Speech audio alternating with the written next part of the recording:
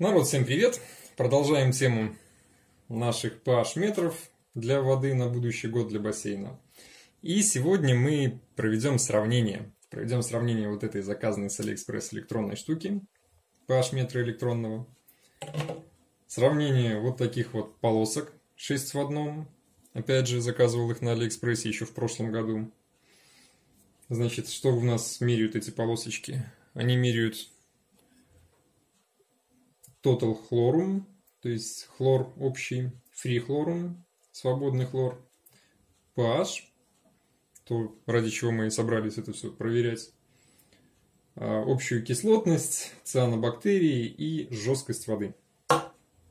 Проверим вот такие полосочки. Они показывают у нас только общий хлор и pH. Они шли в комплекте с э, химкой МакЭко кислородной и вот такая вот лакмусовая PH бумажка. Тоже заказывал на Алике. Там что-то 20 или 30 центов стоило. Это 3 доллара, это 6 или 7 долларов, уже не помню.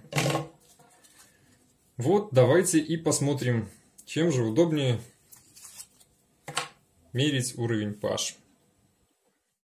Так, а начнем мы с того, что достанем наши баночки которых мы замешивали э, растворы pH. Напомню, здесь 4,1, 4 при 20 градусах и 6,86, 6,87 при 25 градусах pH. Чтобы нам было поудобнее все это дело мерить, мы возьмем две рюмочки. Небольшая была емкость. Положим наши pH чтобы потом не запутаться, где что было, тут написано 4.01 и 6.86. О, кстати, третьим индикатором у нас будет обычная вода из-под крана. По данным вот этой штуки, pH в ней 4,7. О, простите, 7,4, там 7,45. То есть это плюс-минус норма для бассейна. Так, ну что, Погнали. Значит, расставили наши экспериментальные реактивы. И начнем мы с самого дешевого варианта. С лакмусовой бумажки. Возьмем. К ней сразу идет легенда. Оторвем несколько штучек.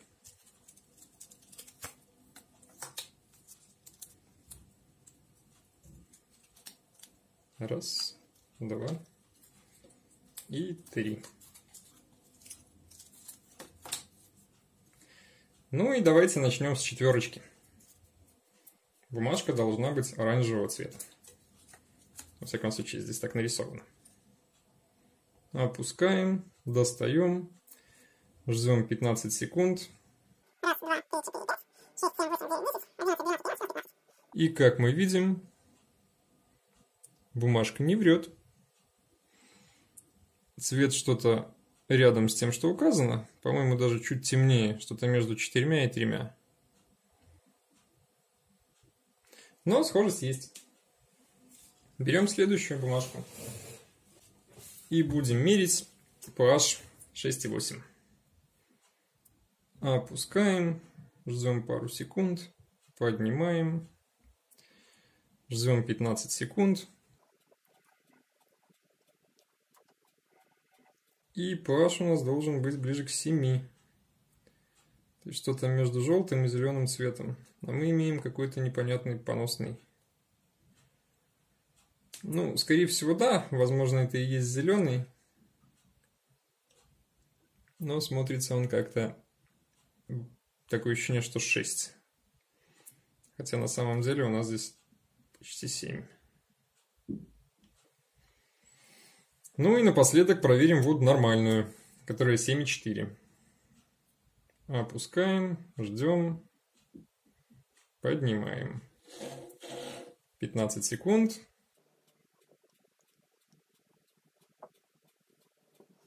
И что мы видим? Бумажка должна была быть зелененькая-зелененькая.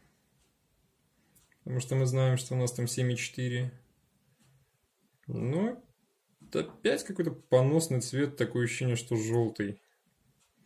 должна быть такая. Ну, в общем, как видите, на глазок. Я бы не стал добавлять после этого PH минус или PH плюс. Следующим на тесте у нас будет вот такая вот штука, которая идет в комплекте с нашей кислородной химией МАК ЭКО, которую мы покупали в прошлом году. Тут у нас два параметра. Это свободный хлор и значение pH. А, Все по инструкции. На секунду опускаем, 15 секунд ждем, сравниваем с легендой. Достаем три полоски.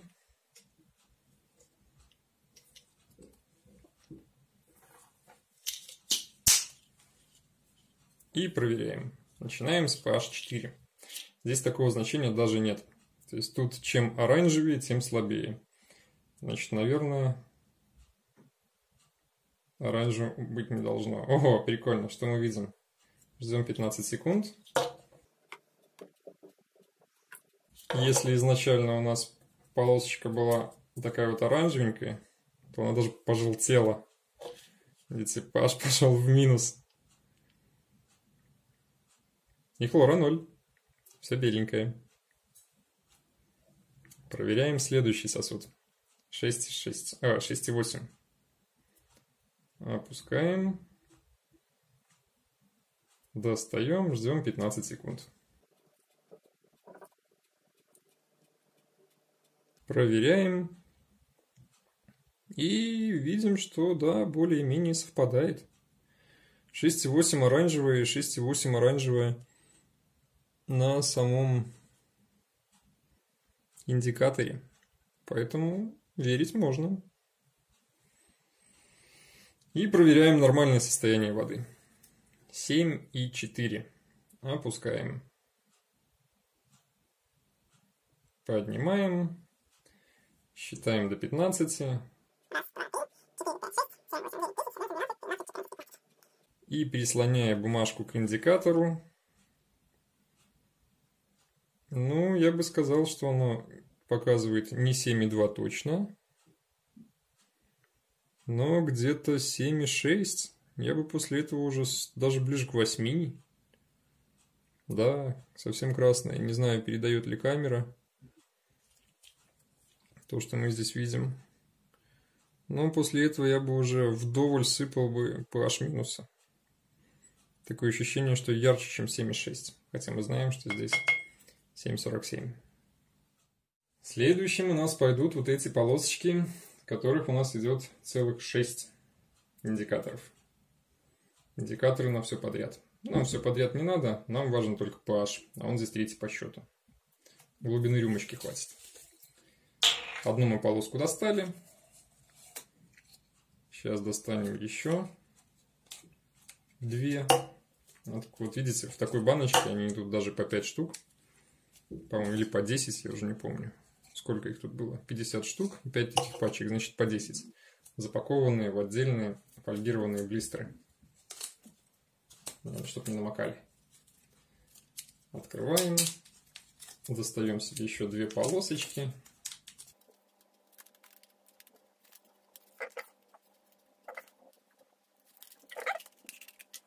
Так, и проверяем. Поехали. Первая полоска PH4. Макаем. Достаем. По инструкции точно так же ждем 15 секунд. Ну и видим реакцию, похожую с предыдущим. Индикатор нам показывает, что ниже, чем 6,8, то есть она стала светлее оранжевой. Кстати, что интересно, показывает, что свободного хлора в этой воде ну, в пределах нормы, и он здесь присутствует. То есть, видите, вода дистиллированная с вот этой pH-штукой, с этим раствором, порошком. И содержит свободный хлор, оказывается. То есть, он здесь не желтый. Поехали дальше. Берем полосочку, макаем в pH 6,8. Достаем.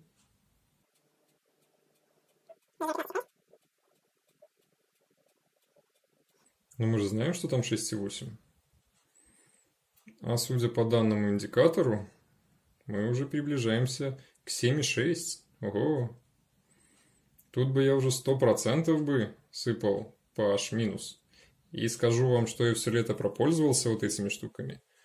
И я реально его сыпал и сыпал, PH минус. Поэтому я думаю, что все лето я держал PH ниже уровня, чем нужно. Потому что я старался, чтобы у меня постоянно было 7,4 такая оранжевенькая. Оно даже при 6,8 показывает, что 6,86, ну пускай 6,9, что у меня 7,4. Поэтому вещичка, наверное, не совсем верная. И последний тест данных полосок, макаем их в 7,4. Ждем 15 секунд.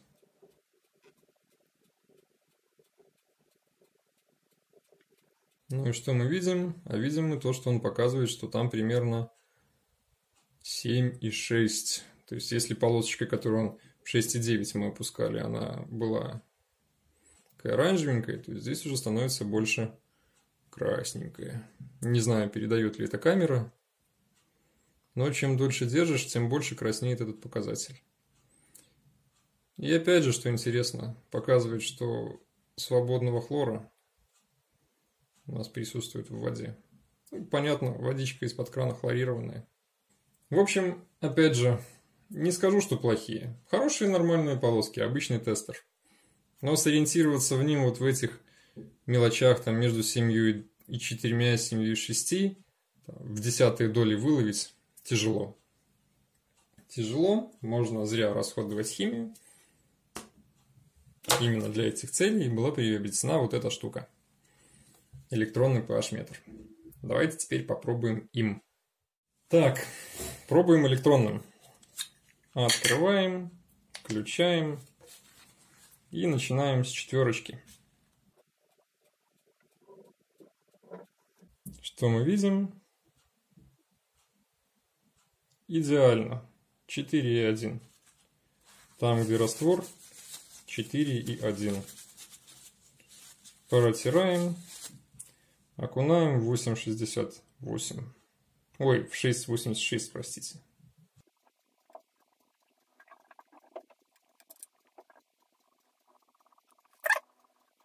Возможно, он ошибся на пару сотых. Показания пока ползут вверх по чуть-чуть, помаленечку. Но мы видим, что 6,8.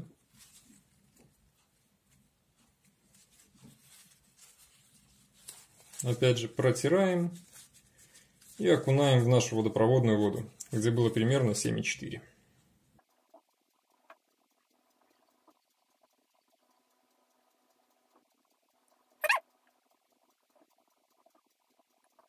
Да, вот 7,54, 7,55.